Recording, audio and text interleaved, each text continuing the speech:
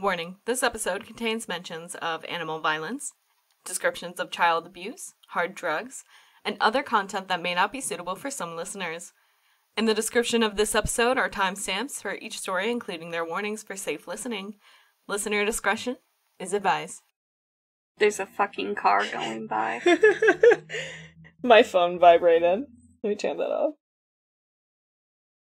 Strong start, just gotta say. Excellent. Great start right up top. Welcome to the Everyday Nightmares podcast. I'm assuming you didn't bring a nut. You know damn well I didn't bring a nut. You did not bring a nut. I do not appreciate your puns. I would say so. You can make them, but you don't really make puns that often. I make puns all the time. Do you? Yeah. It's been a while It's- since we recorded, to be fair. It's only been an extra like three days than And? usual. Okay. I, I guess that's a lot. My only sense of time is, um, away at boarding school, so. Set alarms. I do. Yeah. I uh I can't even say anything. I feel that. Have I ever said corn nut? Yes. Damn it. As soon as it came out of my mouth, I was like, I've said this actually. Oh, what? This is uh, the welcome to the podcast where we discuss the true the true crime and the bat nuts. Bat nuts. Thank you Oh. so much. I realized how that sounds. I'm gonna send you a picture. Of bat It's nuts. not, You're gonna no, send not okay. Listen, listen to me. They're nuts, and they're in the shape of bats. They're not the animal's nutsack. Okay. Uh-huh. Yeah. Okay. I pinky promise. Oh, it's also known as water caltrops, which I may have said before. You've said Motherfucker! They look like mustaches too. That's cute. Have I ever said tiger nut? no.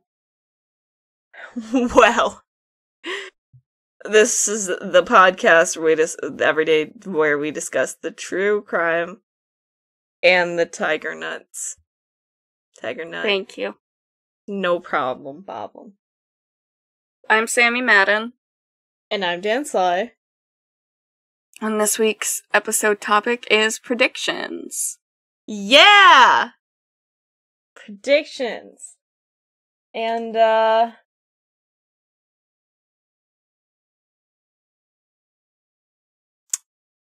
It's been like 80 degrees consistently, and then it was 50. So that sucked. Is that is that your banter? Is That's that your my opening banter? Yeah, yeah, we're talking about the weather. I uh I don't have air conditioning in my room. It didn't suck for me.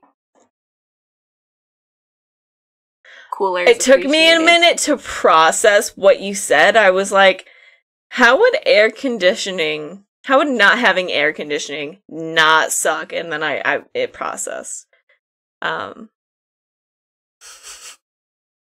it was nice being able to go out in shorts and a t-shirt or tank top, and then I was in like leggings and a jacket again. Tired of it. We live in Michigan. You should get used to it. I, I never not gonna complain about the weather. Okay. Like no matter where you live. No, no, just about Michigan's weather at least. Probably no matter where I live. But like it's just I noticed from working in the service industry that it's a fucking thing for people here just to be like commenting on the weather consistently. Like, it's so nice out today. Can't believe you have to work. And then if it's, you know, a really shitty day, they're like, wow, it's so cold. It was so warm yesterday, though. Like, people, that's just how we say hello sometimes. It's just talk about how good or shitty the weather is or has been. I hated people who would come through the drive-through when it was raining out. I worked in retail, so it was different for me. It was I got exposed to the elements no matter what it was because I was always on the back window. Uh, there was that one time- where I had my hoodie under my work shirt and it hadn't dried all the way, and it was November. Oh, I remember you telling me about that. Yeah. That's fucked up. They should at least provide rain ponchos. They provided like jackets, but it I had to clean my work uniform and my dryer never gets the clothes like dry the first cycle. But I had to Oh. I gotcha. Yeah, I definitely went to work in wet pants one time. Yeah, and then I got there and my manager at the time was like, You could have just told me you were gonna be late and I was like, Well, you know, here I am with wet pants, don't know what to do now. Like, thank you so much. I Yeah, thank you very much. That an hour Um, ago. Are you gonna let me go home now then so that I can wash my pants? Finish drying my pants. It was basically like the washer just never emptied. And so I threw my I threw that single pair of pants into the dryer trying to like dry it super fast, but they were like drenched because the washer never emptied and I didn't look at it until right before work cuz I did that all the time. And it was never like a problem Mm-hmm. until it was. I don't have a good transition. This is probably the worst banter we've ever had. I agree. I'm inclined to agree. Has anything funny happened to you this week? Um, when we dropped Choco off, he looked like it looked like a big Burmese mountain dog wanted to come make friends with him. She was fucking huge, but uh, he was scared. Well, that's cute. I'm was sorry scared. he was scared, but uh that's adorable. She looked real friendly. Oh my gosh. I love animals so much. Uh my cat this week gave us a pregnancy scare. what? She looked real Sriracha. Oh, She has a son named Tabasco, by the way. They're very friendly and uh, lovable. Uh, Tabasco will run under your feet because he wants you to pet him. It's adorable, though. Anyway, she got real fat, so we were like, damn, she's gotta be pregnant. And then the next day, she wasn't as fat, and we were like, oh shit, what happened? And we looked everywhere for babies and have not found any. what the fuck? So we think she's pregnant. We have identified that because she's been looking for like an area to like nest and like give birth basically. And she's also been slapping Tabasco, which is very out of character for her. She's not making milk yet, but like I found where she was nesting and I didn't find any babies. No sign that she gave birth anywhere. So there weren't babies, but we thought that there were. So a birth scare, not a pregnancy scare. Thank you. I didn't know how to word it. It's okay. Yeah. Because she is pregnant, so that fear is confirmed. Yeah, for sure. Well, it's not really fear. I love kittens. I know. I don't know. The funniest thing to happen today was literally. I recently got diagnosed with BPD, and my therapist was like, Well, we need to work on handling your interpersonal relationships because people with borderline can tend to think in very black and white, where some person is all good, and then the next day they're like all bad, and they split and hate everyone. And I had to be like, Okay, this already happens.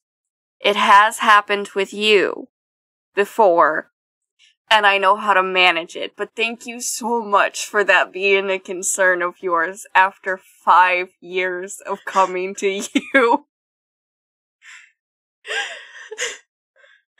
Well, you know, it's just... I don't hate my therapist. I know how to manage my interpersonal relationships to a decent extent. yeah. It was just funny to me because I was It like, "Oh, funny. I'm doing, I'm doing better than I thought I was." She was like, "So the next great. step on this journey," and I'm like, "I'm already doing that step. Thank you, though."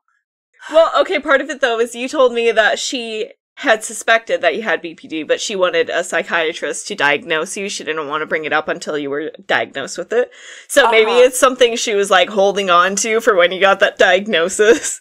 That joke? like it's just no, no, no, not even a joke. Just that tool for you specifically. She's been holding on to, but didn't realize that you were already doing it because she's probably been like coaxing you in the right direction because she suspected you had it. yeah. and you also do a lot of your own research and like into Yeah. just mental health altogether. I suspected I had it, brought it up once to one of my friends, and was really hoping it was autism or ADHD and not an entire trauma response of a personality disorder. But What happened? I was there are overlapping symptoms between BBT, BPD, autism, and ADHD. I suspected I had something called quiet BPD, um, which is instead of like lashing out, you tend to withdraw more when the fear of abandonment gets triggered. But I was hoping it was autism or ADHD because the only thing for BPD is like therapy, and ADHD at least has medicine. Yeah. My psychiatrist told me I had a bad childhood, and I was like, damn, I knew that deep down, but you didn't have to say it like that. it, it was very much that Bob's Burgers moment of, I just realized something. I had a bad childhood, and Linda going, yeah, I know. What do you mean you know? Look at you. What do you mean, look at me? Look at how you stand. People who had good childhoods don't stand like that. oh my gosh. I haven't been keeping up with Bob's Burgers, but I fucking love that show. I always think of uh, our moderator. We've said his name and our moderator in the same sentence before, so our friend Brent, who's also our Hi, moderator, Brent. fucking loves Bob's Bob Bob Burger. fucking loves Bob's Burgers, and we love him. We do. Very much. Me and him have matching Kuchi Kopi nightlights. My mom also has one, actually. She also really loves Bob's Burgers. I, uh, when I don't know what to get him, that's always what I go to. Bob's Burgers. Her favorite Yeah. character is Louise, which is silly because she said that Louise reminds me reminds her of me. So I guess she basically said I'm her favorite child, but you know.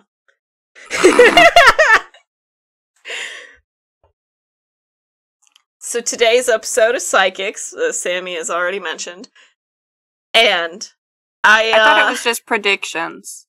Oh, it is. You're right. Uh, I misspoke. Thank Anyway, God, so because i I'm was gonna doing- shit myself. no, no, it's definitely predictions. Um, if I'm being honest, when I was trying to look for for something along the lines, I wasn't finding what I wanted.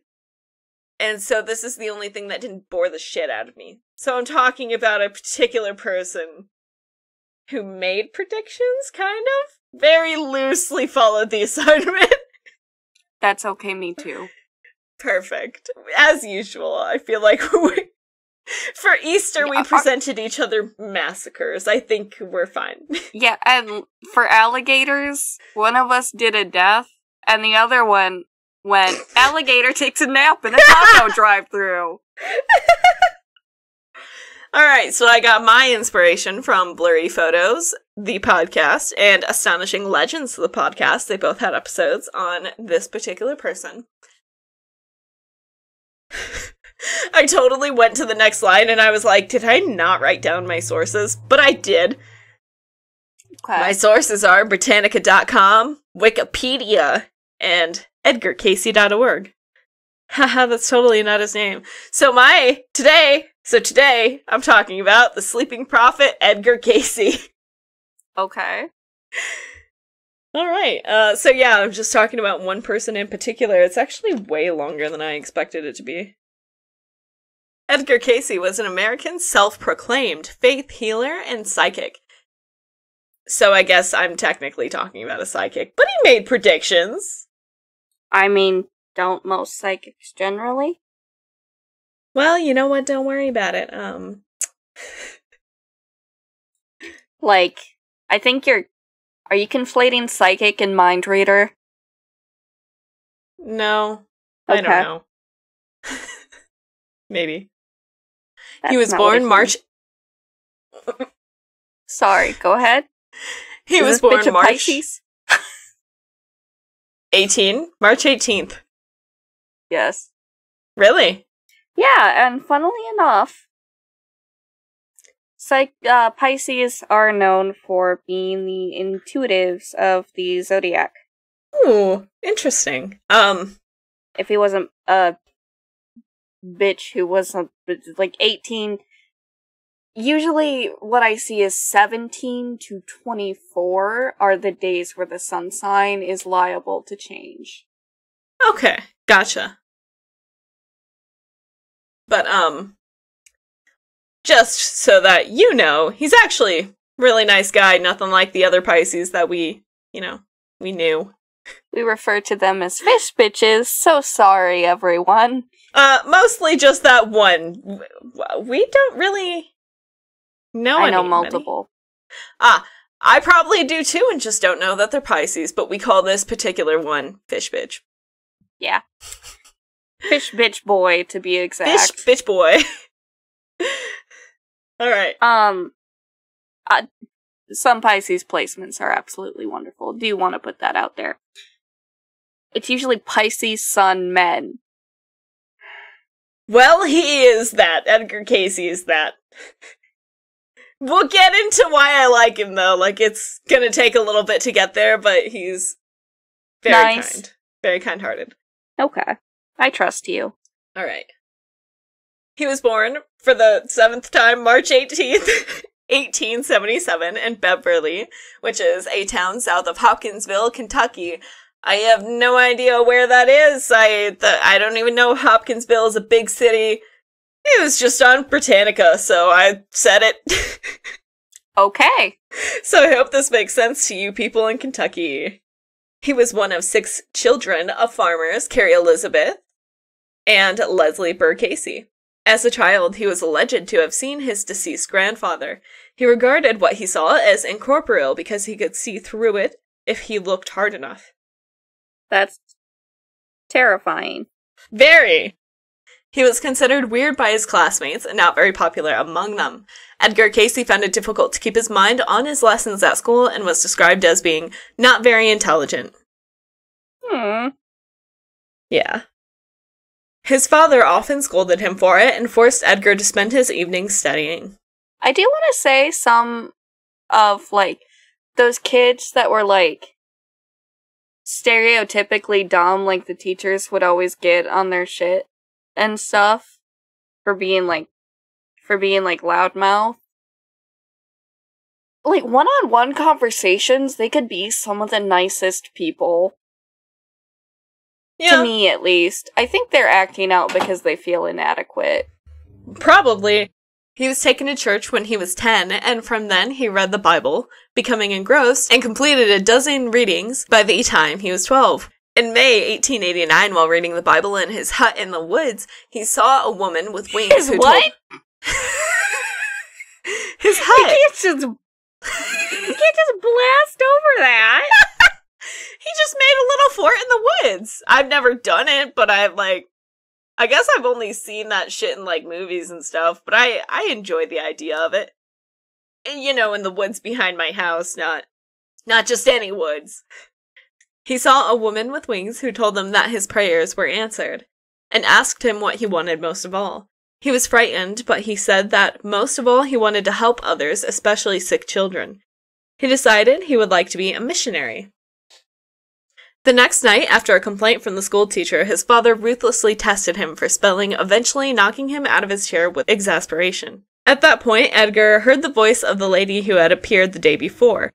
She told him that if he could sleep a little, that they could help him. He begged for a rest and put his head on his spelling book. When his father came back into the room and woke him up, he knew all of the answers. In fact, he could repeat anything in the book. His father thought he had been fooling before and knocked him out of the chair again. What the fuck? Yeah, he's an asshole. But also, he absorbed it through osmosis.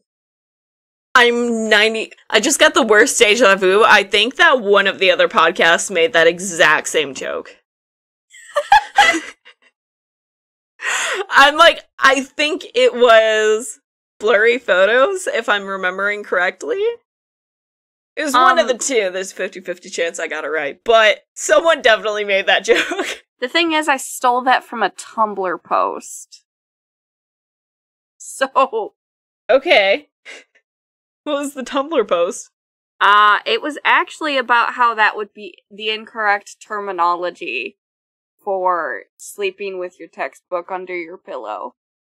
I can't remember the actual scientifically scientific term, but it's not osmosis. Ah. Well, uh, y- you basically just outed one of these podcasts for using Tumblr. So sorry. I mean, it's better than TikTok. I Which uh, is- Um, you're not on the sides of TikTok. I am. is there a good side of Tumblr though? Like I know there are bad Uh, sides of TikTok, but there are good sides of TikTok. And I Yes, and it's the people who don't post anything but fan art and photos and don't say anything. No thoughts, head empty, oh, just aesthetics. Perfect. Um I want memes. I just want memes in every format on one website, which is what Tumblr could be for me if it didn't suck. Facebook is actually where I get most of mine. the people on Facebook make me so mad though. Oh yeah, I have to trample through a lot of lesbophobia to get any good lesbian memes. But there's no after the but, it's just that I'm so sorry to anyone on lesbian Facebook. I know it sucks. Or Twitter, or TikTok, or Tumblr, or Instagram.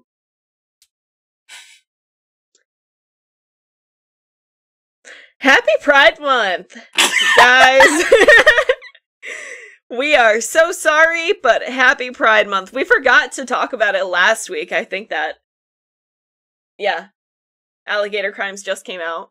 So this is technically the first episode during Pride Month. So, uh, happy Pride Month, everyone. Happy Pride Month. So sorry to start it off with that bang. Yeah, so sorry. Uh, I was I meant to say something about it, but then I didn't make any note of it. Uh, so I completely forgot. But you you bringing up lesbophobia really reminded me that it was Pride Month.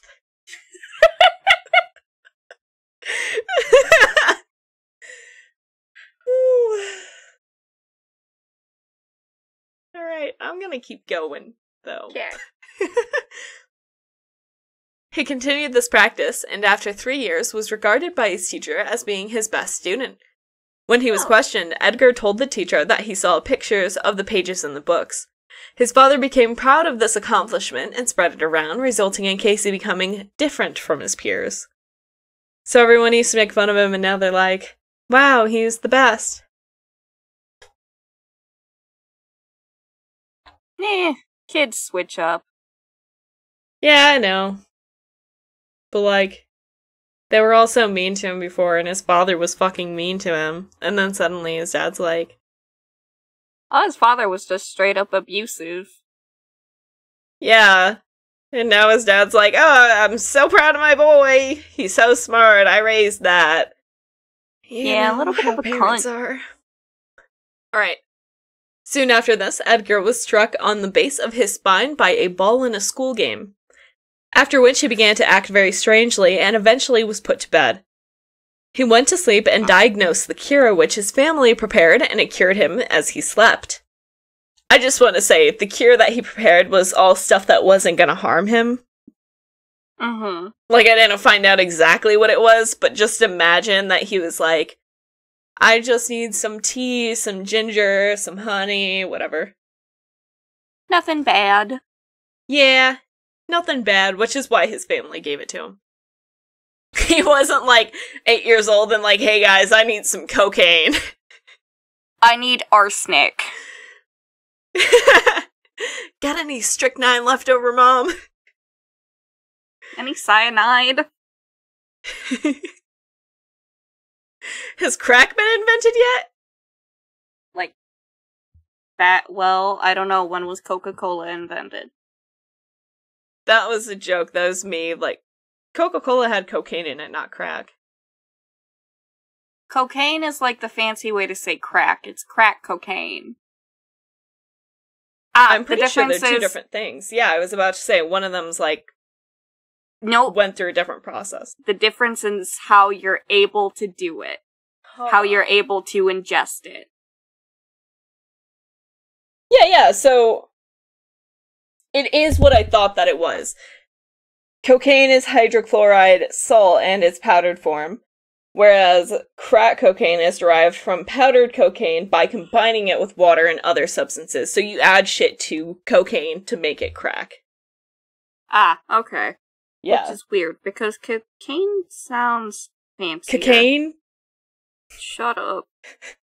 Well, cocaine's like its purer form. I suppose. But anyway, the joke was supposed to be that eight year old Edgar was saying, Has crack been invented yet? But I think it went over your head.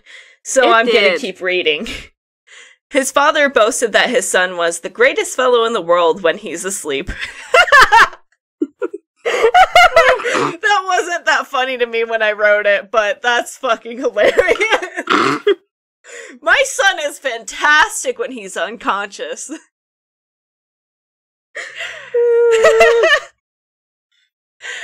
However, this ability was not demonstrated again for several years. Edgar worked on a farm as a child.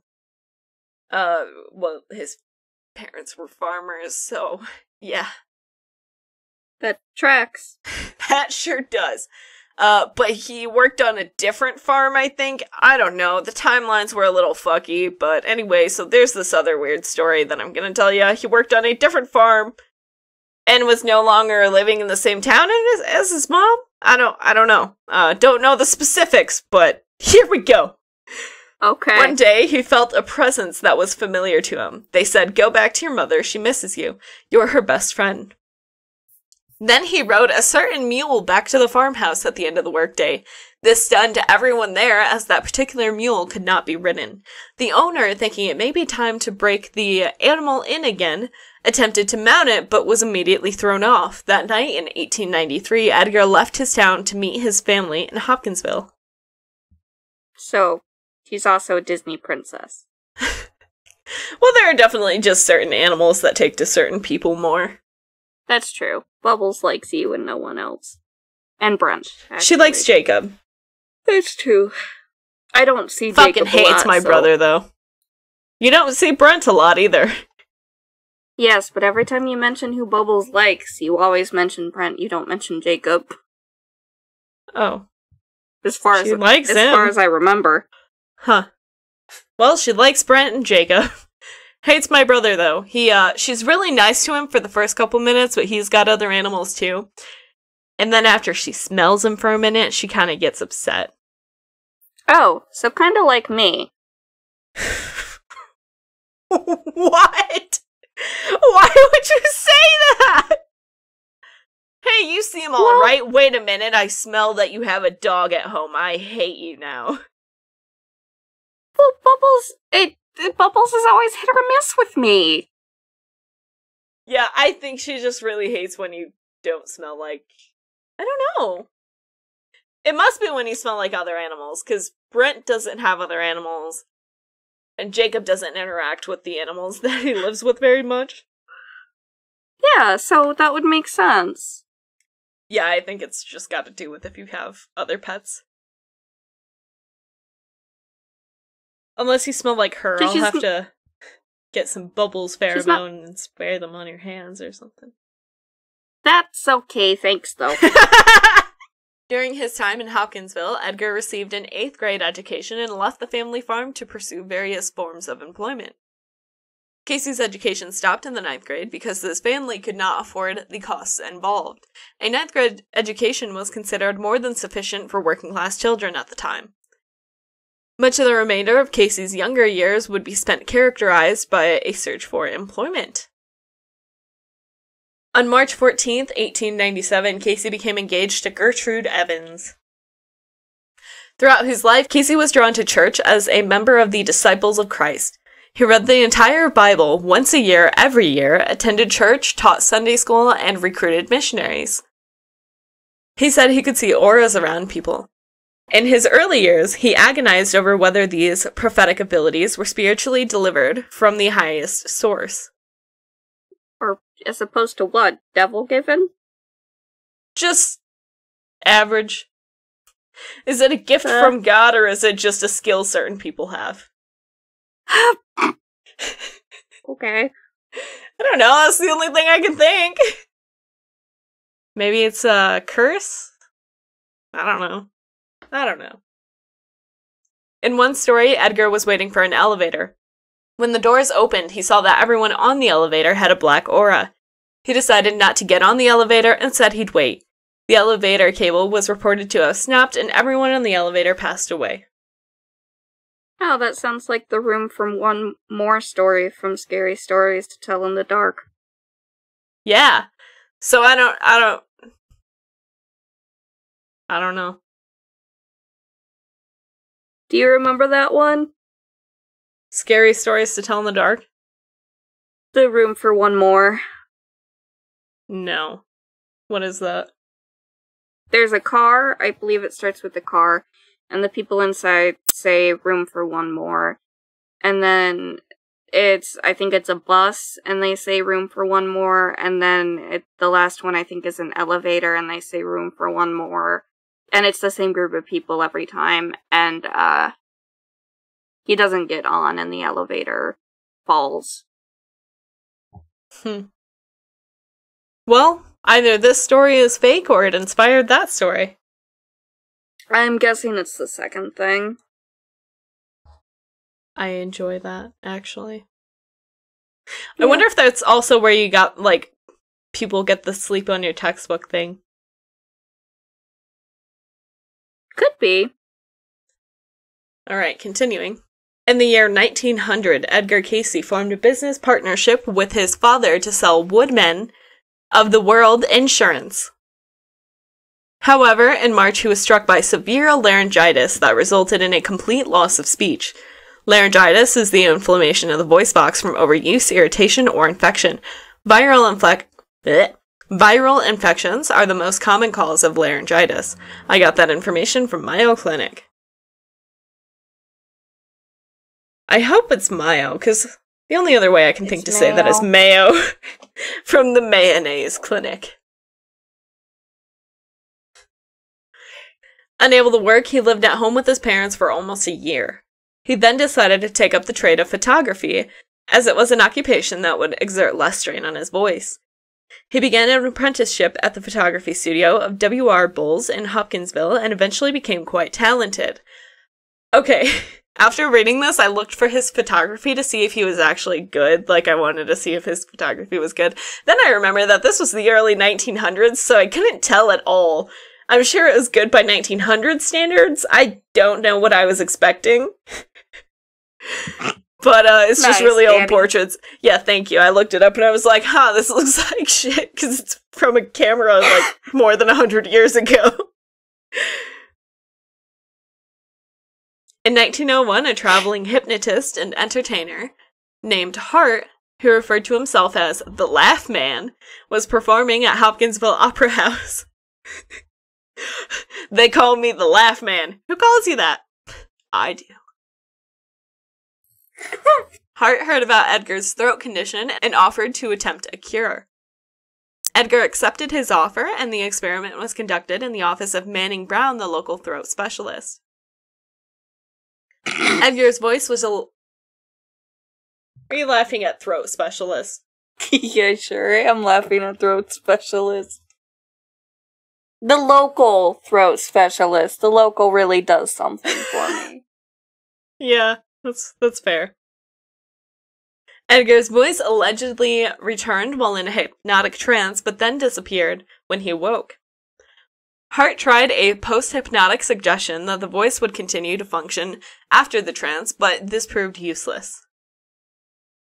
Since Hart had appointments in other cities, he could not continue Edgar's hypnotic treatments, but admitted he had failed because Edgar would not go into the third stage of hypnosis to take a suggestion and New York hypnotist John John Duncan Quackenboss. No.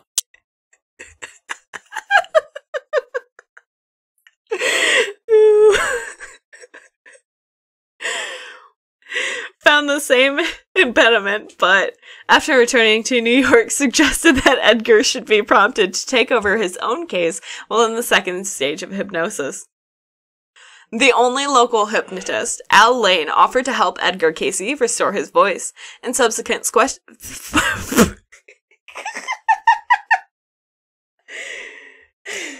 that was real bad.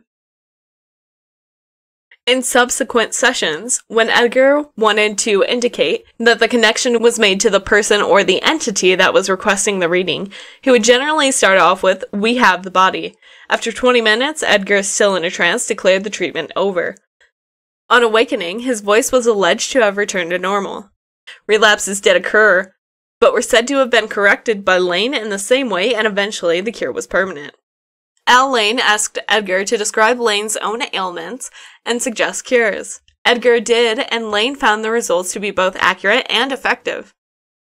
Layne suggests that Edgar offer his trance healing to the public. Edgar was reluctant as he wasn't actually sure what he was prescribing because he was asleep for the process and wondered if his remedies were safe. Edgar finally began to offer his trance to the healing public, but would refuse to accept payment as he only wanted to help people. Edgar started his healing and free treatments with Al Layne's help. Layne described Edgar Cayce's method as a self imposed hypnotic trance which induces clairvoyance. Reports of Cayce's work have appeared in the newspapers, which inspired many postal inquiries, and Edgar stated he could work just as effectively using a letter from the individual as with the person being present in the room.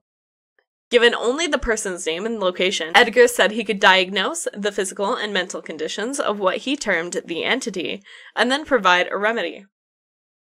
Edgar was still worried, as one dead patient was all he needed to become a murderer. That was a quote from him. Fair enough. Yeah. His fiancee, Gertrude Evans, agreed with him. Few people knew what he was up to, there was a common belief at the time that subjects of hypnosis eventually went insane, or at least that their health suffered. Hmm. Edgar soon became famous, and people from around the world sought his advice through correspondence. Edgar and Gertrude married on June 17, 1903, and she moved to Bowling Green with him, where they had three children Hugh Lynn, Milton Porter, and Edgar Evans. Hmm. Layne revealed the activity of the professionals at the boarding house, one of whom was a magistrate and journalist. State medical authorities then forced Layne to close his practice. He left to acquire osteopathic qualifications in Franklin. Edgar and Gertrude accepted the resulting publicity as best they could, greatly aided by the diplomacy of young doctors. Edgar and a relative opened a photography studio in Bowling Green, while the doctors formed a committee with some colleagues to investigate the phenomenon, with Edgar's cooperation. All the experiments confirmed the accuracy of his readings. However, Edgar refused a lucrative offer to go into business. After a violent examination by doctors while in a trance, Edgar refused any more investigations, declaring that he would only do readings for those who needed help and believed in the readings violent examination? Yeah, there weren't really any details on that. That's all that it said. Okay. So I don't know in what way it was violent. When a reporter contacted Edgar, he explained to the reporter that he somehow had the ability to easily go into intuitive sleep when he wanted to, and this was different from how he went to sleep normally, like everyone else. When asked about the mechanisms of the readings via the sleep method, they were told that it happened via the capabilities of the subconscious mind. Wesley H. Ketchum, which is the first time I've ever actually heard a person have the last name Ketchum. Unfortunate. well, you know.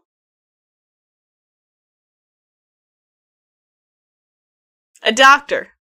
Wesley H. Ketchum was a doctor that Edgar worked with at the time, again urged Edgar to join business company. To Business join a company. business to join a business company. That's how it's worded. I don't know why.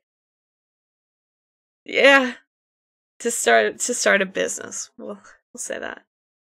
After soul searching the entire night, Edgar finally accepted to the offer under certain conditions, including that he did not take money for his readings. Gertrude became fatally ill with tuberculosis. They used the readings after the doctor had given up, rema-.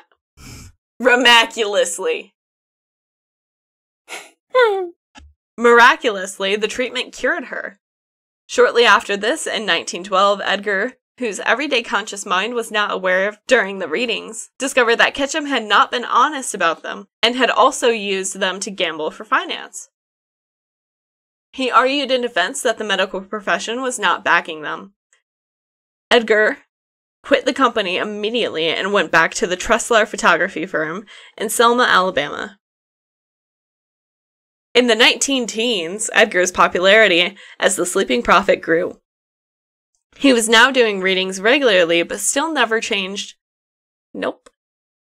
But still never charged anyone for his services. He would only ask for voluntary donations to support his family. He invented a card game called Pit or Board of Trade around this time for additional income. The game simulated wheat market trading and became popular, but when he sent his idea to a game company, they copyrighted it and he got no returns. What the fuck? I know, that really fucking sucked. The growing fame of Edgar, along with the popularity he received from newspapers, attracted several eager, commercially minded men who wanted to seek a fortune by using his clairvoyant abilities. Even though Edgar was reluctant to help them, he was persuaded to give his readings, which left him dissatisfied with himself and unsuccessful. A cotton merchant offered him hundreds of dollars a day for his readings about the daily outcomes of the cotton market. However, despite his poor finances, Edgar refused the merchant's offers.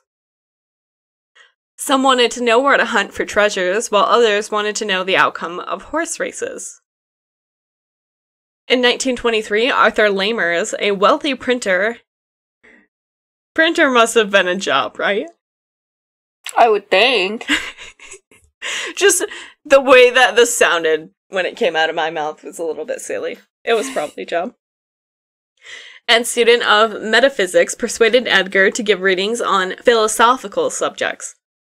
Edgar was told by Lamers that while in his trance state, he spoke of Lamers' past lives and of reincarnation, something Lamers believed in. Reincarnation was a popular subject of the day, but is not accepted as part of Christian doctrine. Because of this, Edgar questioned his stenographer about what he said in his trance state and remained unconvinced. Well, yeah, because he was devout. Yeah, he challenged Lamers' charge that he had validated astrology and reincarnation in the following dialogue. Cayce, I said all that? I couldn't have said all that in one reading. Lamers. No, but you confirmed it. You see, I've been studying metaphysics for years, and I was able, by a few questions, by the facts you gave, to check what is right and what is wrong with a whole lot of the stuff I've been reading. The important thing is that the basic system, which runs through all the religions, is backed up by you. Edgar's stenographer Gladys recorded the following. In this, we see a plan of development of those individuals set upon plane, set upon this plane, meaning the ability to enter again into the presence of the Creator and become a full part of that creation. Insofar as the entity is concerned, this is the third appearance on this plane.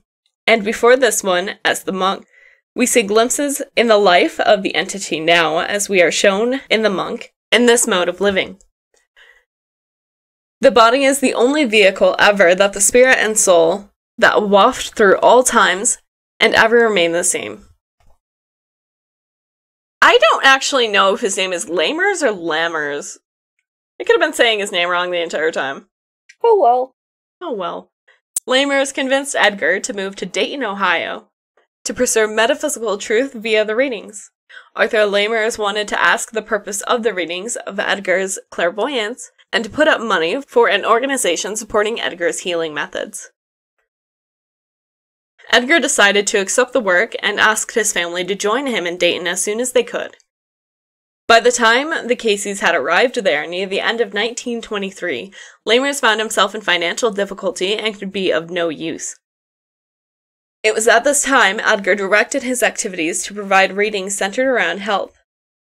The remedies that were channeled often involved the use of unusual electrotherapy, ultraviolet light, diet, massage, less mental work, and more relaxation in the sand on the beach. His remedies were coming under the scrutiny of the American Medical Association, and Edgar felt that it was time to legitimize the operations with the aid of licensed medical practitioners. In 1925, Edgar reported, while in a trance, the voice had instructed him to move to Virginia Beach, Virginia, across the street from the beach. A lot of beaches. A lot of beaches. He was informed that the sand's crystals would have curative properties and promote rapid healing. Edgar created several institutions that can be considered to have started in 1925. By this time, he was a professional psychic with a small number of employees and volunteers. The readings increasingly came to involve occult or esoteric themes. Gertrude Cayce began to conduct all the readings. Morton Blumenthal, a young man who worked in the stock exchange in New York with his trader brother, became very interested in the readings, shared Edgar's outlook, and offered to finance the vision in the right spirit. He bought them a house on Virginia Beach. Spiritual sugar daddy.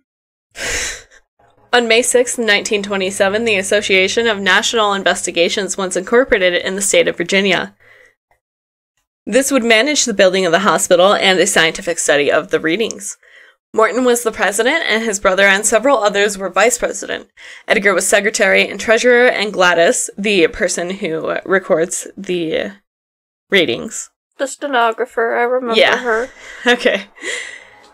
Was assistant secretary. To protect against legal prosecution, the rules required any person requesting a reading to become a member of the association and agree that they were participating in an experiment in psychic research. On October 11th, 1928, Which is National Coming Out Day. ah, nice. The dedication ceremonies for the hospital complex were held. It contained a lecture hall, library, vault for storage of the readings, and offices for research workers. There was also a large living room and a 12 car garage, servants' quarters, and a tennis court. It contained the largest lawn, in fact, the only lawn between the Cavalier and Cape Henry. The first patient was admitted the next day. This faculty would enable consistent checking and rechecking of the remedies, which was Edgar's goal.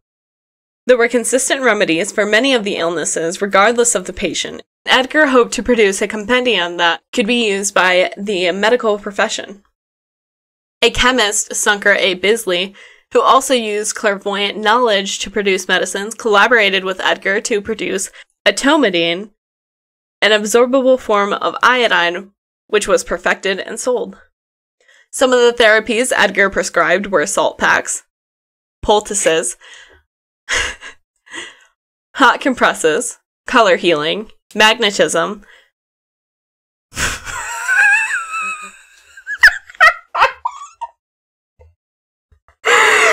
I definitely copy and pasted this list and I didn't pay attention to this. Vibrator treatment. Ah!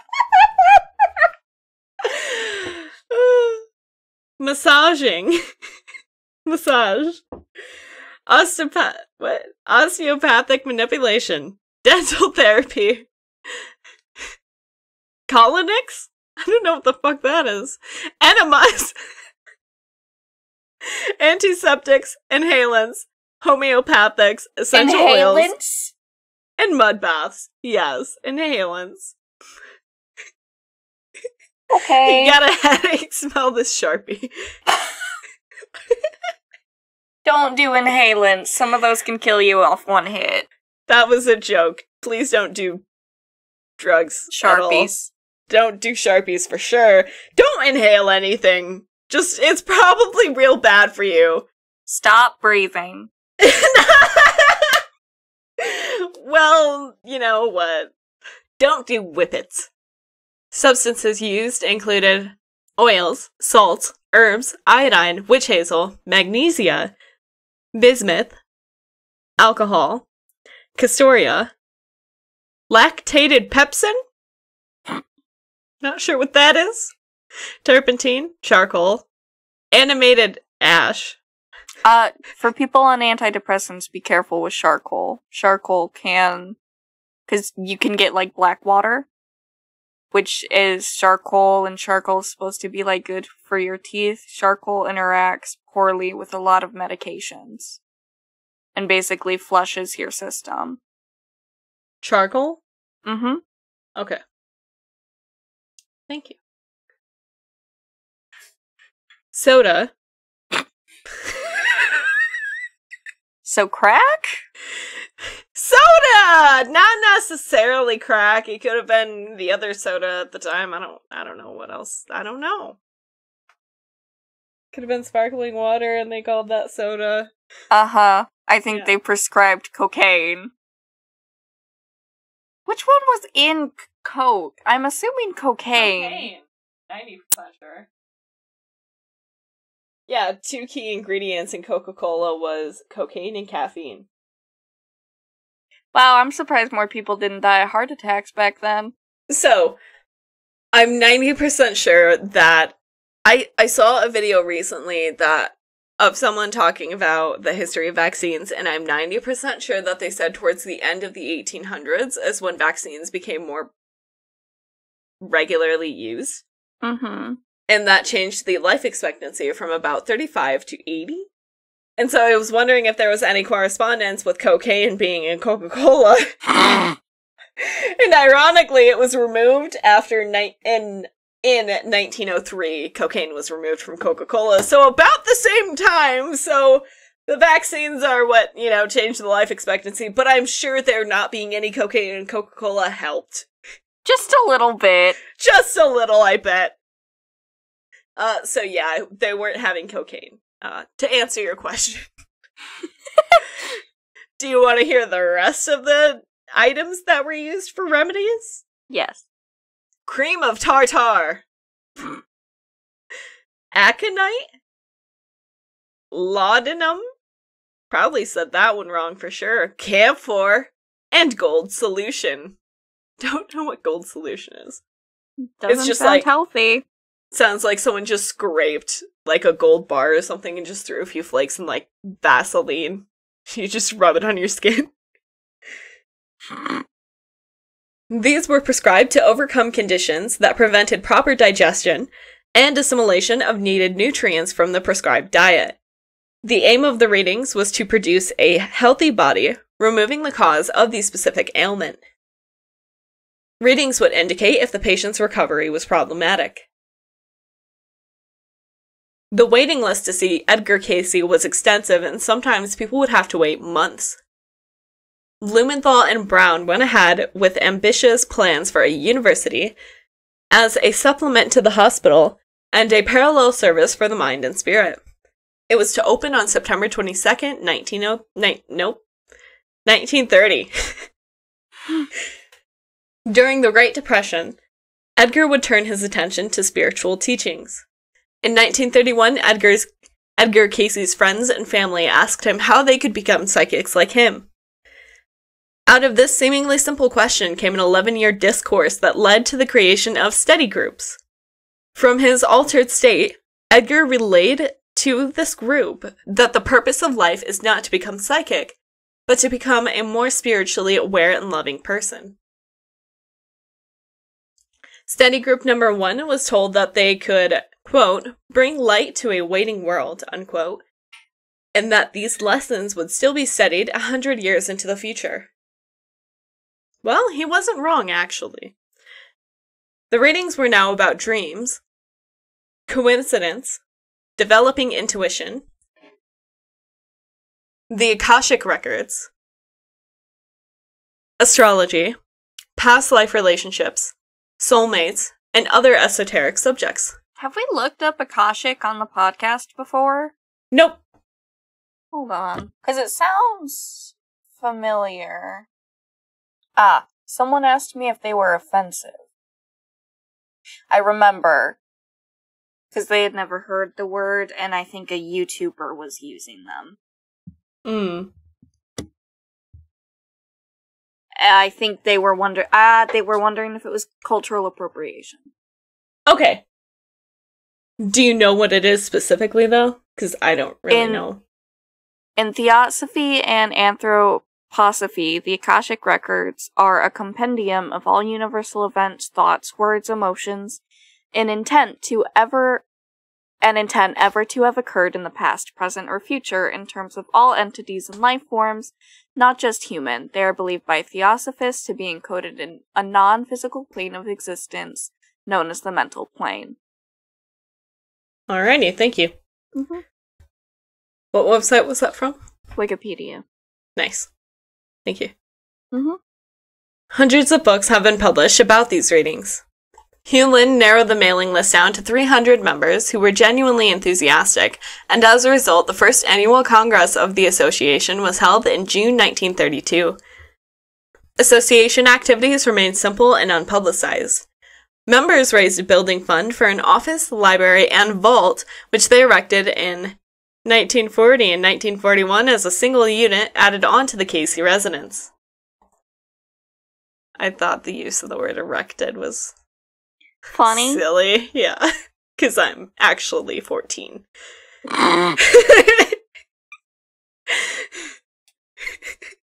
nice, Danny.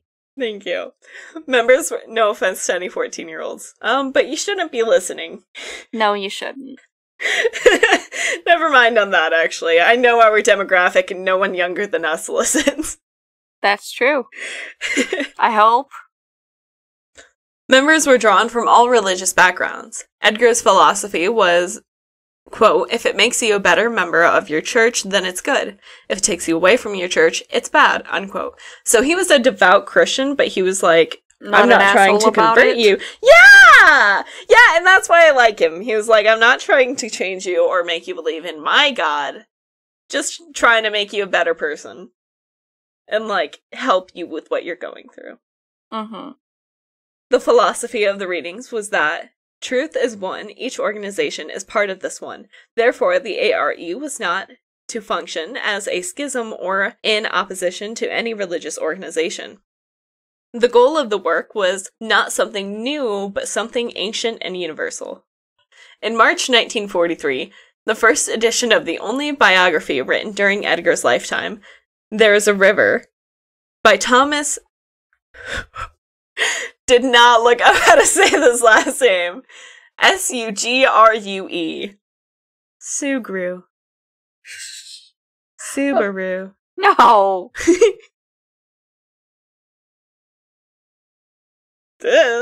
Thomas.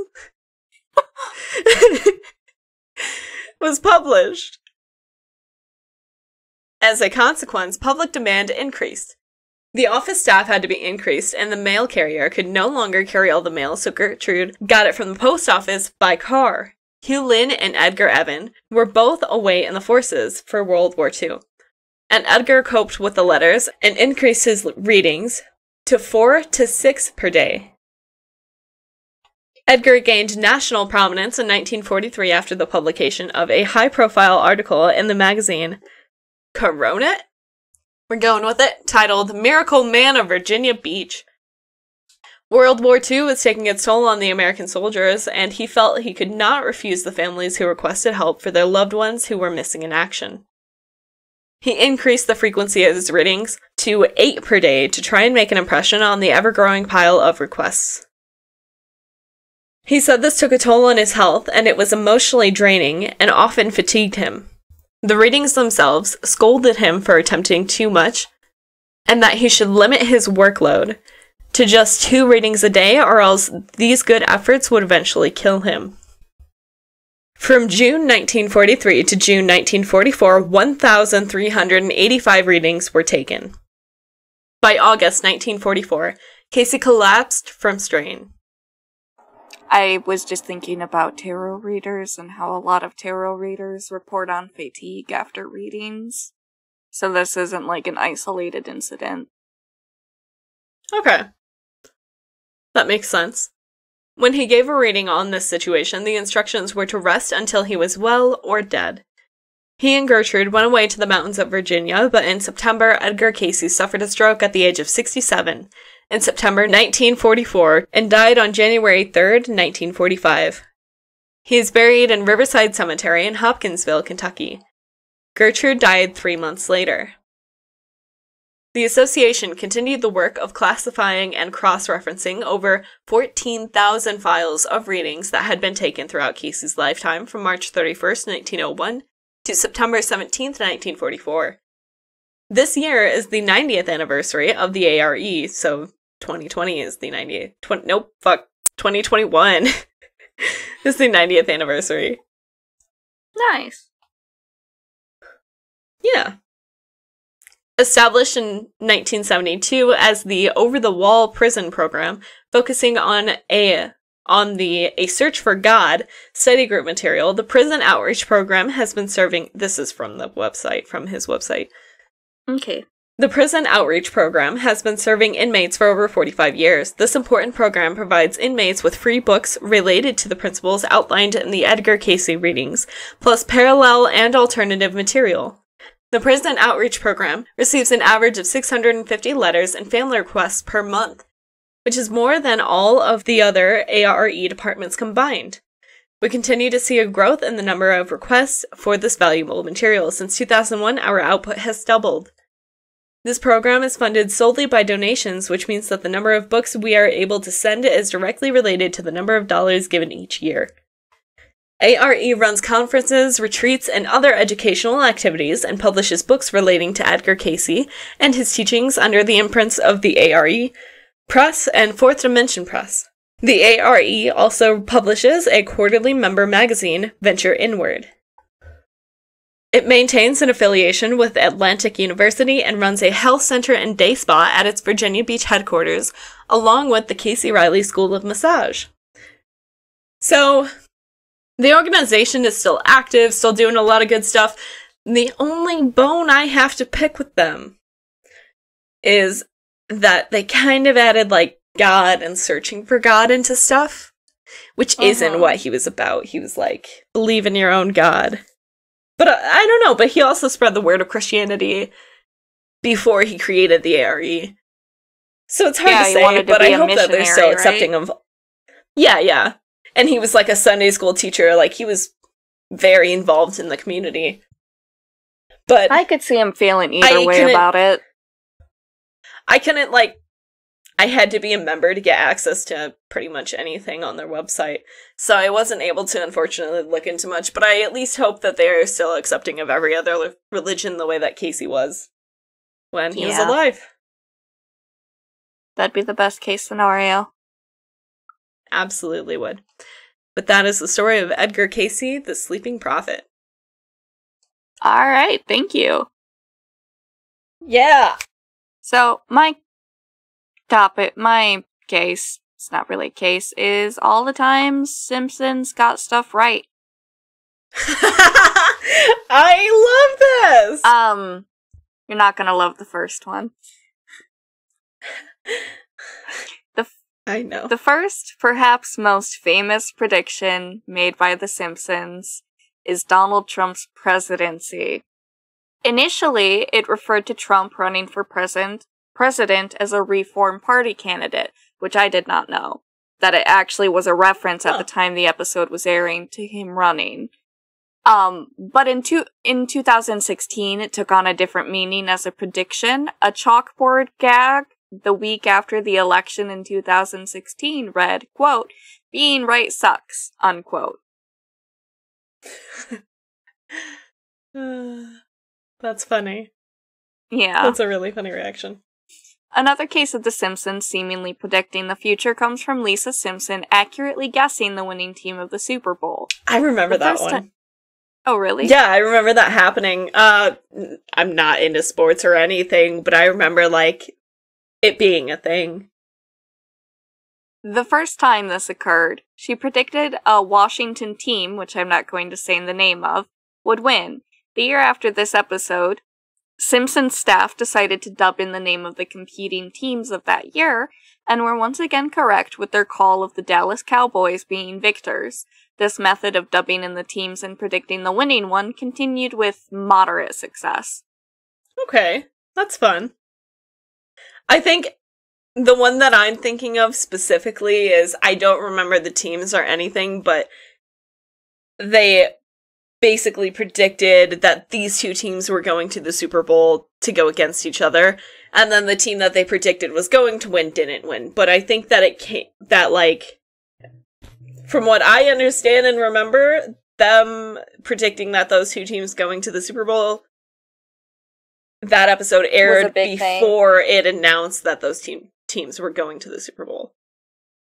That's what I remember specifically.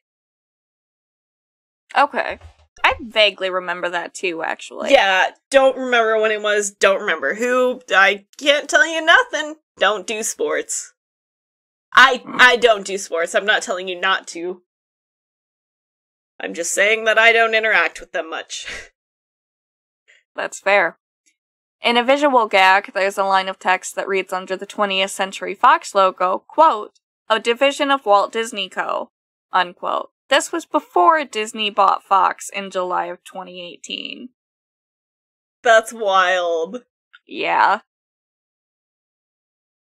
Simpsons predictions have also made a foray into the technological side of things. In season 6, they predicted in an episode depicting the future that voice activated smartwatches would be an occurrence. In 2013, that came to fruition. In a case of The Simpsons contributing to the future, a case of autocorrect being poor on a device in an episode led to Apple employees adding extra effort to a decent autocorrect feature. And it still sucks. So I'm Yeah. so glad that The Simpsons had that episode because what the fuck would I What, have? yeah, what was it like before that? If it's anything like, okay. it's a huge thing in some of the gaming communities that I'm in where, like, there's this really cool game with some problems, but they don't fix those problems even though they think that they are. They're like, here's a new patch update that adds you can hug your friends now, but then also, like, this thing is kind of fixed, but not really. Oh, and this other function that was completely fine, it's a little worse now. so, uh, I'm imagining that that's exactly how that went with autocorrect. not much got fixed. Yeah. They also predicted video chats in the same episode. They predicted the smartwatches. In addition, a That's little fun. darker, that that they predicted faulty voter machines in which a person votes for one candidate and the machine spits out another. Oh, Yeah. huh. There was also an episode where one of the plots revolved around Homer's distant relative. I say distant in that he didn't show up much. I think he might have been his stepbrother, half brother, something. Yeah, not Uh, the immediate He gets- of the ants. he gets rich quick off a baby translate translating app, which is a thing. Whoa, it's really a thing? Yeah, like the Cry translator, I think. Huh. That's interesting. No, I believe this one is another case of The Simpsons impacting real life, as Homer has a get rich quick scheme that involves stealing grease and selling it. The article refers to it as a plan so prolific that people in New York were seen doing the same thing. Stealing grease? From restaurants and selling it. Oh. What? That's Yeah. super weird. And gross. Yeah, very disgusting. In a two for one, The Simpsons accurately predicted Germany winning FIFA, but unfortunately, they also predicted the corruption found within the FIFA employees, which would take place later in real life. So after the episode aired, a bunch of scandals broke about a like bribes being taken and corruption within the FIFA employees. Oh my god. So they can predict stuff, but they're like, there's gonna be good and bad to it.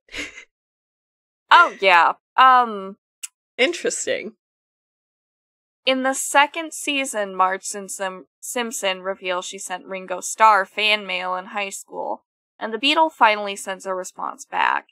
This incident would be mirrored in real life when Sir Paul McCartney gave a reply to a mixtape he had received from two women in Essex 50 years ago.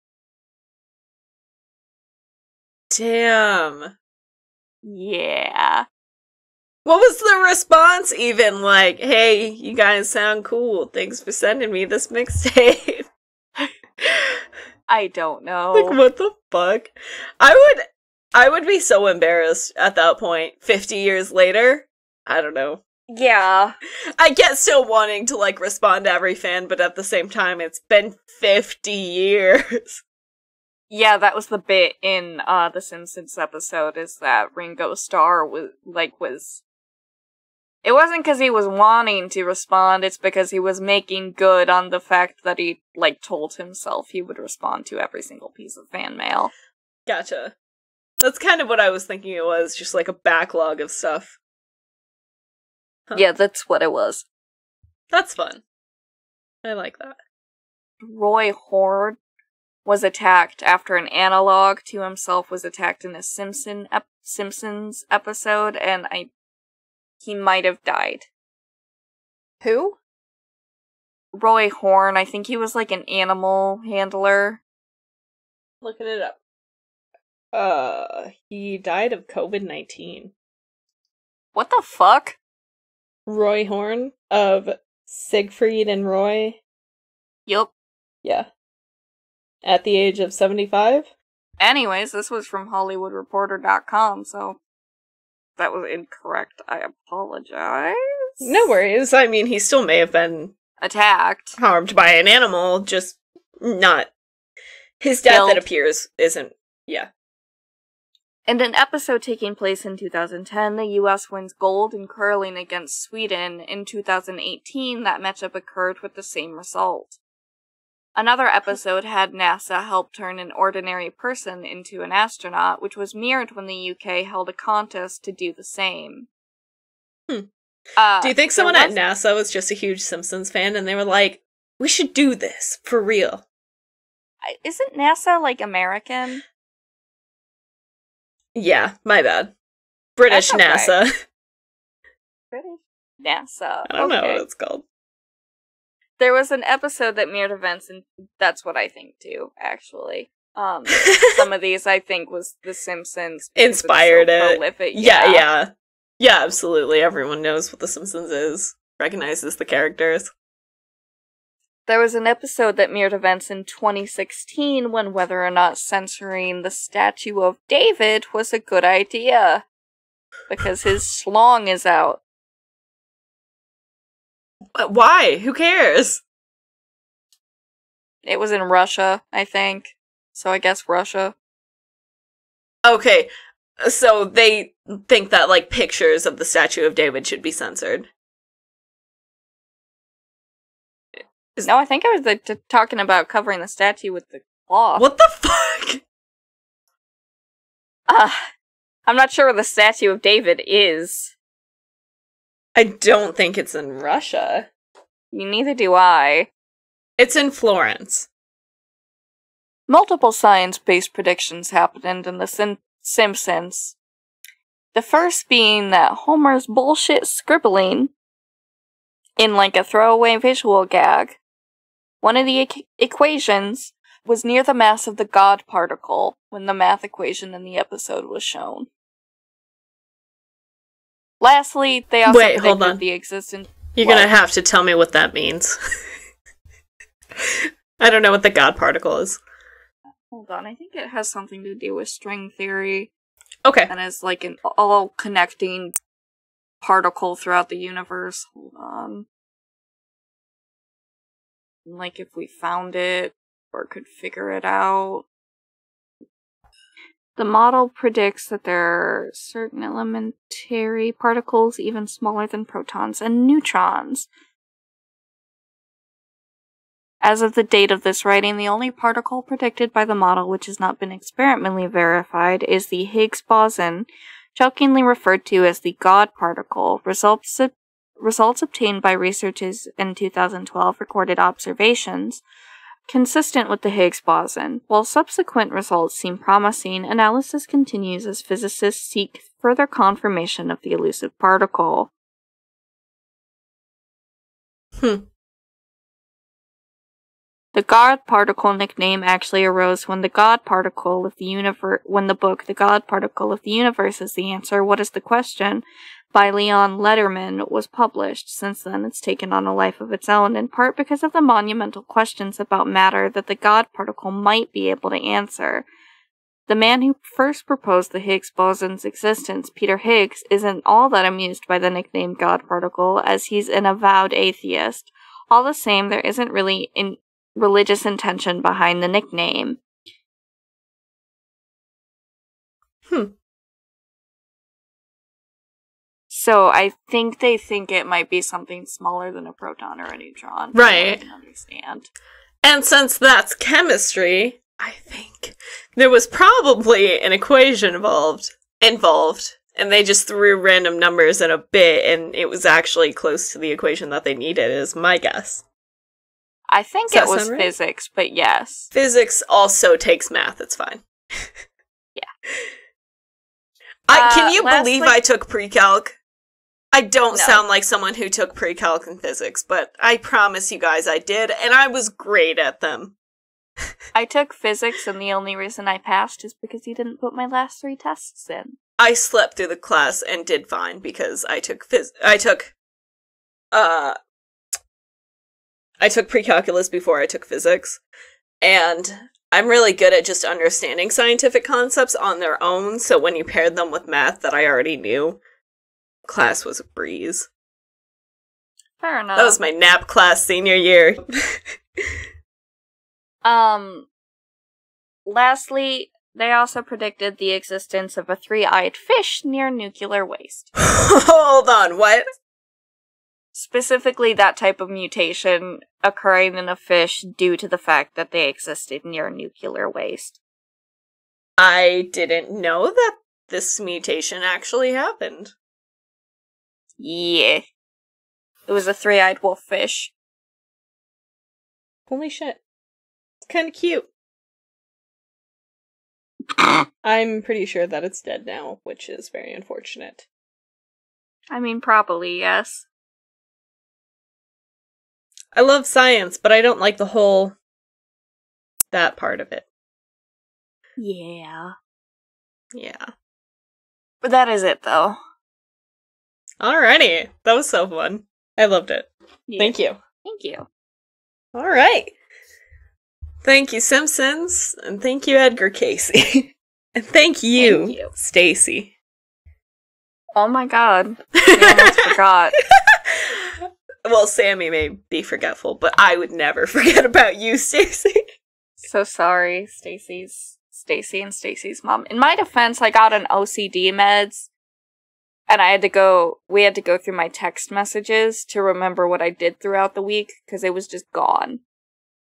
Oh. Yeah. Is that common side effect? Oh yeah. That and diarrhea. Um Speaking of diarrhea.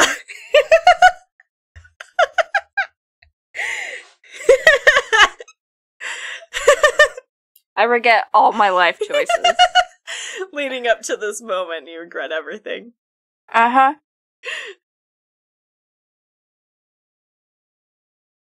Hey Dan, there's a window behind you. Oh, I'm gonna diarrhea right now. Thank you. It's not completely dark out yet, so it's not as effective. Uh-huh. It's just at night. I don't feel good about it, but I'm not pissing myself because it's not nighttime yet. Uh, it's nine o'clock. I can still see light. Uh-huh. Yeah, from outside. Well, thank you guys for listening. Thank you. uh, I guess depending on where you are, good night. Good morning. And And happy, Happy birthday. birthday. Happy birthday. Thank you, Stacy. And Stacy's mom. For you and yours, Stacy's mom. And happy Pride. Happy Pride. Thanks for listening to Everyday Nightmares. If there was anything in this episode that may have triggered you, first of all, we apologize. Second of all, we would love it if you would inform us of what triggered you specifically so that we may provide a warning for it in future episodes in order to keep you safe from any harm that could come to you via listening to this podcast. If you have corrections, questions, or additions, please let us know. And if you have stories of your own, you can email us at everydaynightmarespodcast at gmail.com. Please include your pronouns, and if you would like to have your name read on air in our minisodes, please sign your name at the bottom. You can follow us on Twitter at ED Nightmares, Instagram at Everyday Nightmares Podcast, and TikTok at Everyday Nightmares Pod. If you like the podcast, don't forget to like, rate, review, comment, subscribe, or follow wherever you are listening. It is the best way to spread the word. If you'd like to show your support and get a shout out on air, visit our Patreon or Ko-fi. You can get access to bonus episodes, bloopers, and even have the opportunity to pick your own episode topic and or case. Thanks for listening, and we'll see you next time. I wanted to let you know that I found a giant lesbian fan at Spencer's. You mean fan like the one you open and like fan Mhm. yourself with? Or I've seen them use as decoration. When you said that, I thought you meant just a person who's was a, a fan fan, of of lesbians. lesbians. Yeah, who just cheers It them was me. on. It was me. I Well, am you- you simultaneously a lesbian. You lesbian and a big fan of lesbians. But I, I just for for some reason I was imagining someone who's not lesbian just really cheering on lesbians. just the most supportive ally in the world. That'd be nice. it would be nice. I also found a plush Bowser that I got for this. Aw. I saw a Mewtwo hat a couple of years ago there. Uh, it was ugly as fuck, which was Oh, the- unfortunate. The, snapback? It was a Mewtwo snapback. The Bowser was at a different store. Oh, okay, gotcha. Spencer hats are really ugly, usually the snapbacks. Yeah, The two n- string no offense, but I I'm not a fan. Yeah, there's some there's some cute stuff there, but there's definitely most of the hats just aren't my style at all because I strictly wear dad hats. Uh, so anyway, but Mewtwo was like one of my favorite characters when I was one of my favorite Pokemon. Probably actually my favorite Pokemon when I was a child. Oh. Yeah. So anyway, thanks for listening, you guys. Bye. Bye.